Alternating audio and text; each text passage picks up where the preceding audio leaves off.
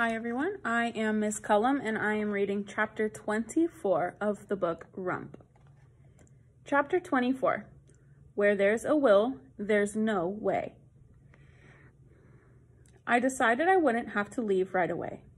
Babies take a long time to be born, almost a year, so I could wait. As the summer heat cooled and the leaves began to turn yellow and orange and red, my aunts traveled to the markets in turn. They traded their yarns and cloth and tapestries for grain and potatoes and carrots and onions. Ida came back with a bushel of apples and a pot of honey, which Hazel thought was very foolish, but even she couldn't hide her delight at eating apple pies and hot biscuits drizzled with honey. I licked my lips at the sight of all the food stacked in piles for winter. I thought I had time to stay through the winter.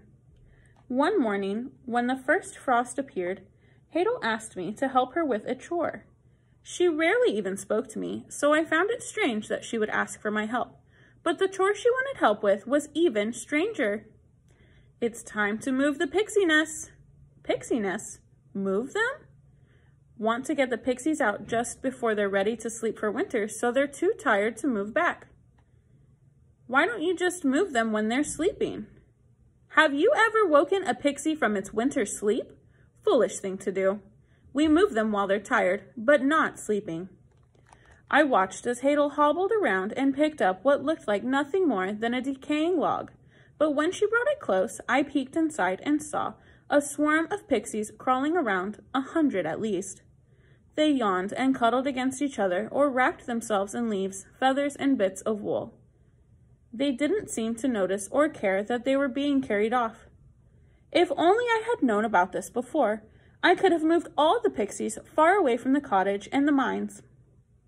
Spring on the mountain would have been a much more pleasant time. Hold this, said Hazel. I will gather others, and you will follow me to where we will leave them. She placed the nest gently in my arms and then hobbled off to gather other nests. She picked up a bundle of twigs and grass and reached up into the branches of a tree and brought down a tangled mass.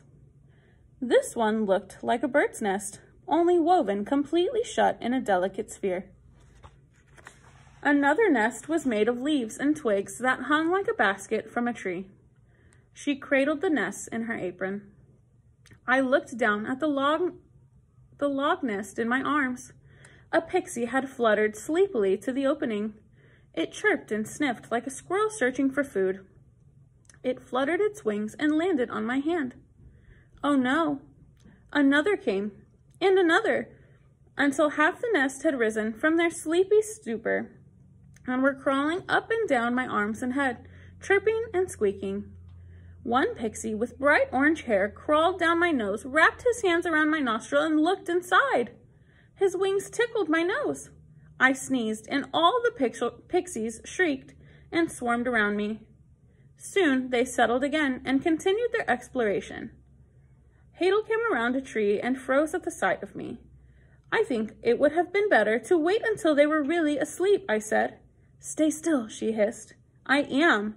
Don't move. I'm not. Stop talking. I shut my mouth. With one hand, Hazel untied her apron and gently placed the nest on the ground. She took a bucket and filled it with dirt and walked slowly toward me. I'm going to pour this on you, but don't move until I say. Understand? Don't answer. Don't move. Don't even blink.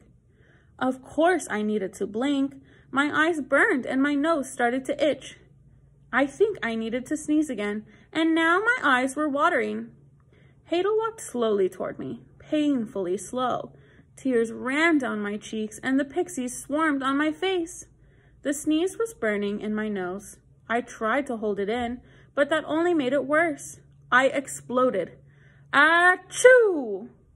Hazel pounced on me and flipped the bucket on top of me. The dirt poured down my head and face and arms. The pixies scattered and screamed. Hazel took their nest and pulled out the bits of wool and leaves and made a trail for them, leading the pixies away from me to the hollow log. Slowly the pixies calmed, gathered their bedding, and flew back into the nest. As soon as the pixies had settled, Hazel hobbled to me, her wide eye boring into mine. Has that ever happened before? Of course it had happened before. Pixies were always pestering me. But Hazel already suspected that something wasn't right with me, and I wasn't about to give her any more reason to think so. No, I said, pixies usually hate me. Do they? She seemed amused. Pixies have always been abundant here. They're like shiny things, pretty things, but their numbers seem to be even greater since you have arrived. Like they smelled what they really love, gold. Gold, I said, as though I had never heard of this before.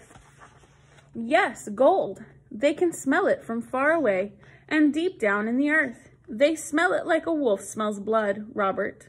She lowered her one big eye right level with mine. My heart was beating very hard in my chest, so I could hear it pounding in my ears. My name isn't Robert, I said quietly.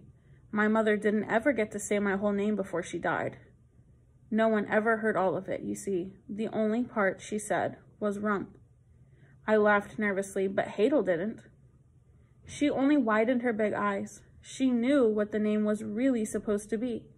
Tears burned in my eyes. I didn't want to cry now, not in front of Hazel. I held my breath until the burning stopped. So you've spun, have you? asked Hazel. Her voice was a little softer now.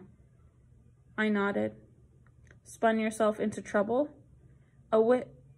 My friend's granny told me that there was a way to get out of it. She said I needed a stilt skin.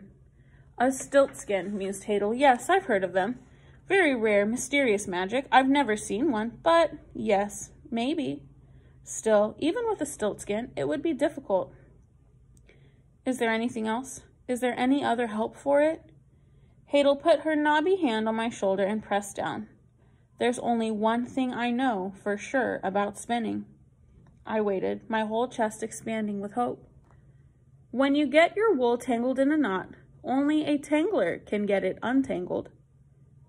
And with that, she scooped up her apron of pixiness and hobbled away. She did not ask me to help. Is something wrong with Robert? You look pale. Ida brushed her hands on my cheek. You didn't eat. Are you ill?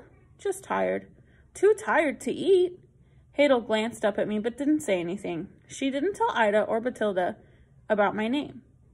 And somehow this made me feel more hopeless, as if there was no need to explain, because there was nothing they could do. Ida sent me to bed early, but no sleep came. I waited for my aunts to settle in, and once I heard their even breath and snores, I crept into the wool room with a handful of straw. The spinning wheel shone in a sliver of moonlight. I sat down. It was just a bunch of wood. In my hands was straw, straw and wood, plain and totally unmagical.